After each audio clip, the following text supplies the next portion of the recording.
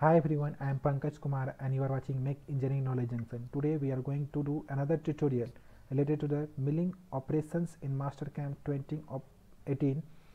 This tutorial is related to the series that we started on milling operations in Mastercam 2018. This is another tutorial. This is a simple tutorial that we are going to do in the Mastercam 2018. Before starting this tutorial, I want to say that if you like this video please hit like and subscribe button and also press the bell icon to get all the updates from my channel. And don't forget to share your valuable comments and suggestions in the comment section.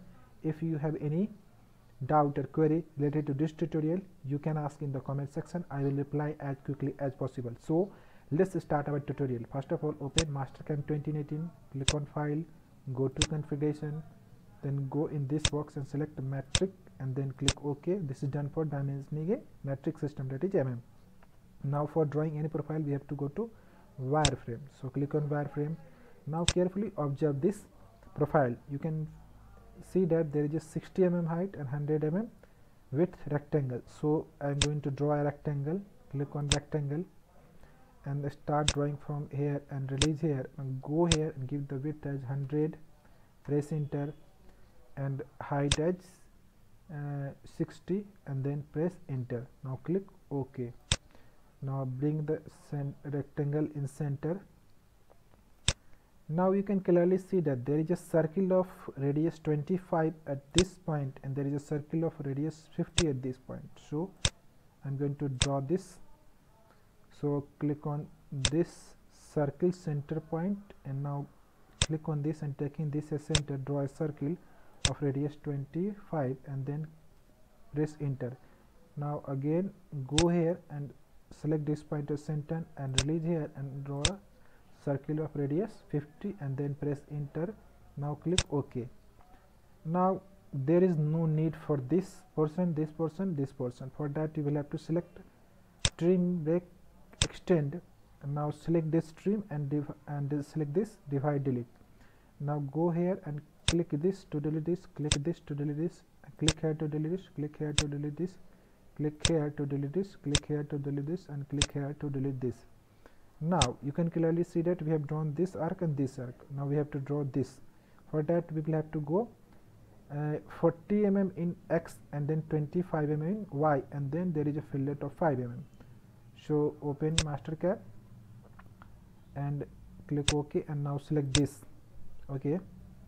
And uh, we have to start from we will have to start from there is a, a gap of after 10 mm. So we will have to create a point after first of all for that create a point and the point coordinate will be uh, 0 comma 10 sorry 0 comma 10 plus radius of this that is 35 okay so press enter. Now you can clearly see that we get a point here. Now click ok. After that we will have to select this line in point and select this point as a starting and go in right side and release here and give the length as 40 and then press enter. Now start from this point go vertically upward and give the length as 25 and then press enter. Okay now click ok now there is no need for this point now so select this and press the delete button on your keyboard. And now there is no need for this line also so again click on trim break extend and select trim break extend. And select trim and then delete and select this line and this line. And now click ok. Now we will have to create a chamfer of radius 5 at this. So click on fillet entities select here and here. And now give the radius here as 5 and then press enter. Now click okay thus we have generated the required profile according to our given problem. Now we are going to uh, extrude this profile. For that click on solid click on click on extrude first of all right click the mouse button and go to isometric view okay?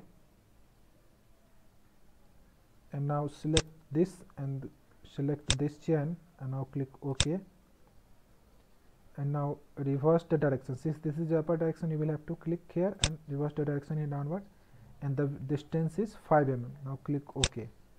So we have extruded the required profile. Now we are going to select the machine. For that click on machine. And since this is the problem of milling so click on mill and click on default. Now we will have to set up the stock for this.